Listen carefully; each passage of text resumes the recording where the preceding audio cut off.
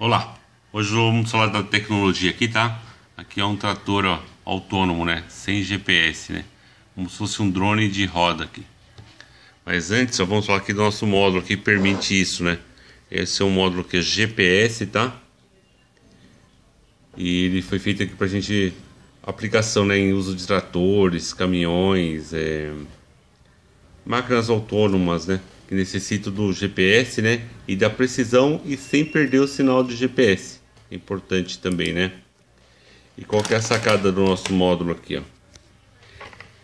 Ele usa aqui uma porta USB, né? Para alimentação e comunicação. Então você dispensa fontes externas que mais é, causas de problemas, né?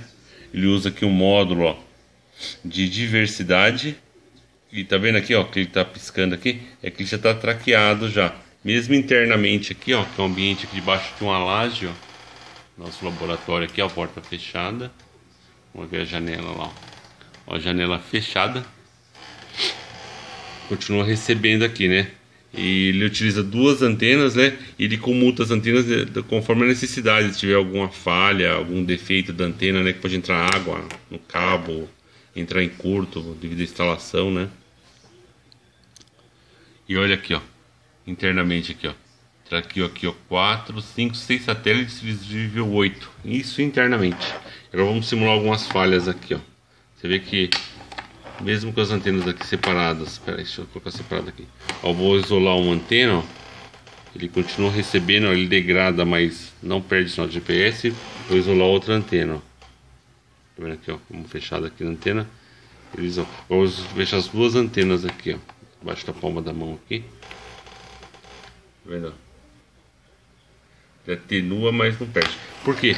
Porque ele consegue um ganho de diversidade. Quer dizer, ele pega um pouquinho de sinal desse, um pouquinho de sinal desse, faz uma análise combinatória e o nível dispara lá para cima, aumentando ó, a recepção. Isso então permite você usar o GPS em partes de baixa visibilidade, né? Vales, debaixo de árvores, né? Vai funcionar perfeitamente, ó. Tá bom?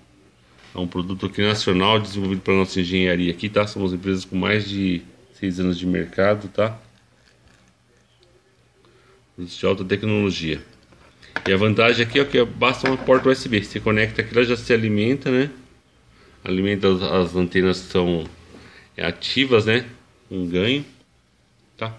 É um módulo aqui com menos 150 dBm de ganho aqui de recepção, acessibilidade, tá?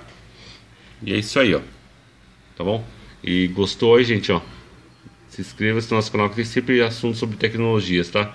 E deixe seu like aqui, tá bom? Muito obrigado aí, um abraço, tá? Por você perder um pouco do seu tempo aí para assistir nossos vídeos, tá bom? É bacana, né? Vamos só agora só um pouquinho só te dar um tchauzinho aqui. A porta de comunicação, né? Assim que você instala ele aqui, o módulo, ele vai gerar uma porta de comunicação USB, ó. Aqui no caso aqui do COM 4. E para esse software aqui de análise, né, só para ver se está funcionando ou não, a gente usou esse aqui, ó. Você seta aqui, ó, comunicação com 4. E é isso aí, gente. Um abraço a todos aí, muito obrigado aí e até a próxima, hein? Valeu aí. Tchau, tchau.